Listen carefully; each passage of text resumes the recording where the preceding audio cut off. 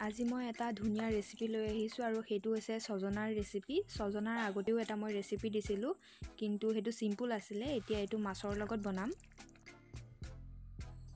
আজি এই ৰেচিপিটো বনাবৰ কাৰণে মই কেইডালমান ছজনা লৈছোঁ। আপোনালোকেও এনেকুৱা ধৰণে ছজনা লৈ ল'ব।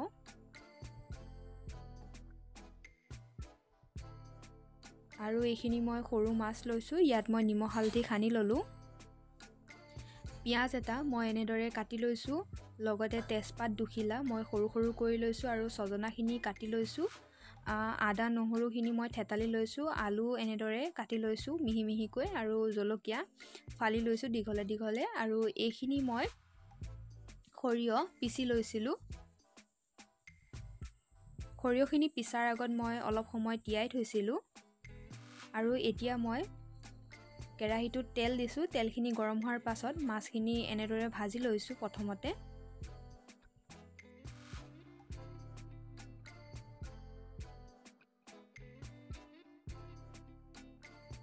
মাছখিনি ভাজি হোৱাৰ পিছত মই প্লেট এখনত নমাই লৈছোঁ আৰু মাছ ভজাৰ কেৰাহীটোতেই মই আকৌ অকণমান মিঠাতেল দি দিছোঁ।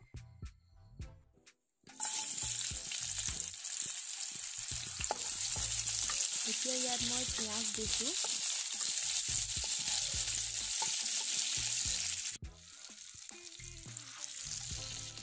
এতিয়া ইয়াত মই কেঁচা জলকীয়াকেইটা দি দিছোঁ তেজপাত শিলাও দিছোঁ।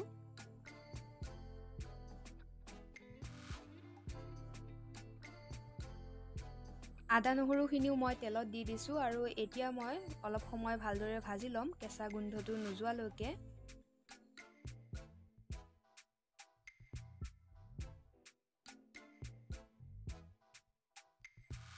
তাৰপাছত মই ইয়াত সৰিয়হখিনি দি দিছোঁ। প্ৰথমতে মই সৰিয়হখিনি ভাজি ল'ম।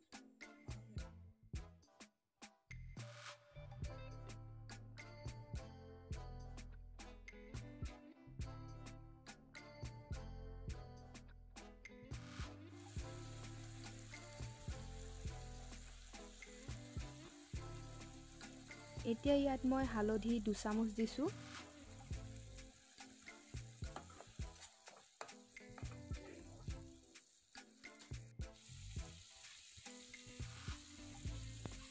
মই নিমখ দিছোঁ। নিমখ আপোনালোকে সোৱাদ অনুসৰি ব্যৱহাৰ কৰিব। তাৰপাছত আকৌ লৰাই দিছোঁ। অলপ সময় ভালদৰে ভাজি ল'ব। সৰিয়হখিনি ভালকৈ ভাজ খাই যোৱাৰ পিছত মই কাটি লোৱা ছজনাখিনি ইয়াত দি দিছোঁ। এতিয়া মই এইখিনিও ভালদৰে ভাজি ল'ম অলপ সময়। এতিয়াই পানী নিদিওঁ আৰু লগতে মই আলুখিনিও দি দিছোঁ আৰু আলুখিনিও মই অলপ সময় ভালদৰে ভাজি ল'ম। কাৰণ আলু আৰু ছজনা সিজোতে অকণমান সময় লাগে।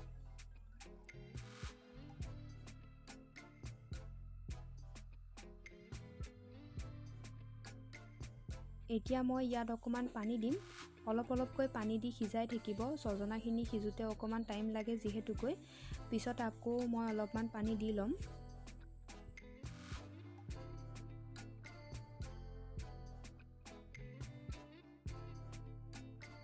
এতিয়া ইয়াত মই গিলাচ এটাৰে দুগিলাচৰ জোখত পানী দিছোঁ। মই অৱশ্যে ইয়াত গৰম পানী ব্যৱহাৰ কৰিছিলোঁ আপোনালোকে ঠাণ্ডা পানীও দিব পাৰে।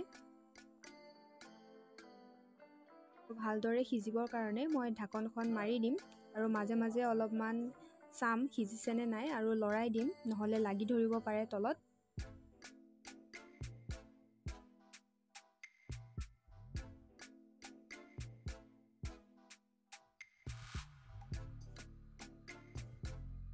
মোৰ ছজনা আৰু আলুখিনি ভালদৰে সিজি গ'ল সেইবাবে মই এতিয়া ইয়াত ভাজি লোৱা মাছখিনি দি দিম।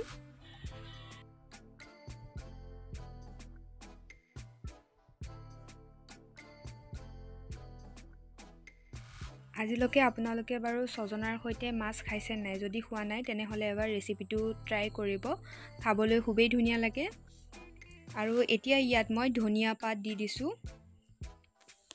ধনিয়া পাত দি দিলে গোন্ধটো বহুত ধুনীয়া আহে।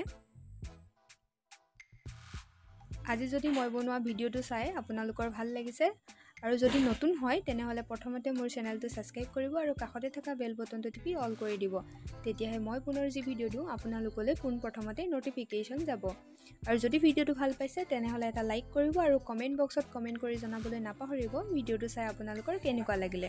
তেনেহ'লে আজিলৈ আহিছোঁ পুনৰ এটা নতুন ভিডিঅ'লৈ। মই পৰিস্মিতাই আপোনালোকৰ ওচৰলৈ আকৌ আহিম।